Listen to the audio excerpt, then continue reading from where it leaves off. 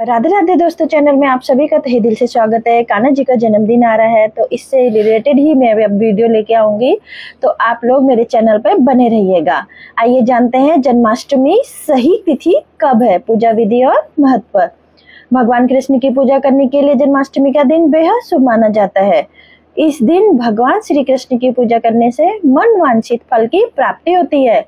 इस साल कृष्ण जन्माष्टमी का पर्व 26 अगस्त के दिन मनाया जाएगा। इस दिन जयंती योग का निर्माण हो रहा है। ऐसे में जन्माष्टमी का व्रत करने से अक्षय पुण्य की प्राप्ति होती है। बता दें, कृष्ण जन्माष्टमी के पर्व को कृष्ण जी के जन्म के उपलक्ष्य में मनाया जाता है। उन्हें विष्णु जी के आठवें अवतार के रूप में पूजा जाता है। हर वर्ष भाद्रपद माह के कृष्ण पक्ष की अष्टमी तिथि को रोहिणी नक्षत्र में कृष्ण जन्माष्टमी मनाई जाती है। यह दिन श्री कृष्ण को समर्पित होता है। जन्माष्टमी के इस अवसर पर भगवान श्री कृष्ण की पूजा उपासना की जाती है।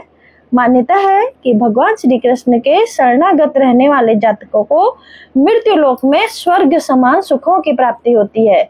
इस कड़ी में ये जान लेते हैं कि इस साल कृष्ण जन्माष्टमी का बरकत कब रखा जाएगा? कब है कृष्ण जन्माष्टमी इस साल? भाद्रपद माह के कृष्ण पक्ष की अष्टमी तिथि की शुरुआत 26 अगस्त की रात तीन बजकर उनचालीस मिनट पर होगी और 27 अगस्त रात दो बजकर उन्नीस मिनट पर इसका समापन होगा। ऐसे में 26 अगस्त 2024 के दिन कृष्ण जन्माष्टमी का व्रत रखा जाएगा। कृष्ण जन्माष्टमी पूजा विधि, कृष्ण जन्माष्टमी के दिन सुबह स्नान करने के बाद व्रत का संकल्प लें। इसके बाद घर में चौकी लगाकर कृष्ण जी के बाल रूप की प्रतिमा रखें। इस दिन उनके बाल रूप की पूजा की जाती है। बाद में सभी पूजा सामग्री को अपने पास एकत्रित कर लें। इस दौरान कृष्ण जी के समक्ष दीप ज़रूर जलाएँ। फिर कृष्ण जन्म कथा का पाठ करते हुए उन्हें माखन का भोग लगाएँ। इस दौरान भगवान से प्रार्थना करते हुए कुछ मंत्रों का भी जाप करें।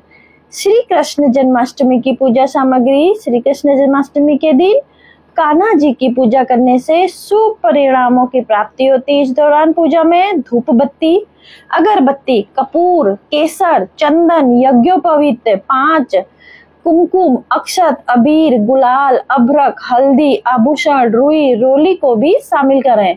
इसके अलावा पंचमेवा, गंगा जल, शहद, शक्कर, तुलसी दल, शुद्ध घी, दही, दूध, ऋतुफल, नैवेद्य मिष्टान छोटी इलायची, लौंग, मौली, इत्र की शीशी को ज़रूर शामिल करें। आप चाहें तो लाल कपड़ा, पंचरत्न, दीपक, बड़े दीपक के लिए तेल, बंधनवार भी शामिल कर सकते हैं। श्री कृष्ण के शक्तिशाली मंत्र कौन से हैं? आइए जानते हैं। ओम कृष्णाय नमः। इस मंत्र को करने से आपको बहुत ज़्यादा सुख समृद्धि मिलेगी और सब कुछ घर में धन संपन्न रहेगा। दूसरा है हमारा, ओम देविका नंद नंदाय विदमहे वासुदेवाय धीमहि तन्नो कृष्ण प्रचोदयात। ओम क्लीम कृष्णाय नमः, गोकुलनाथाय नमः। ये थे हमारे कृष्ण जी के जन्म। हैप्पी जन्माष्टमी।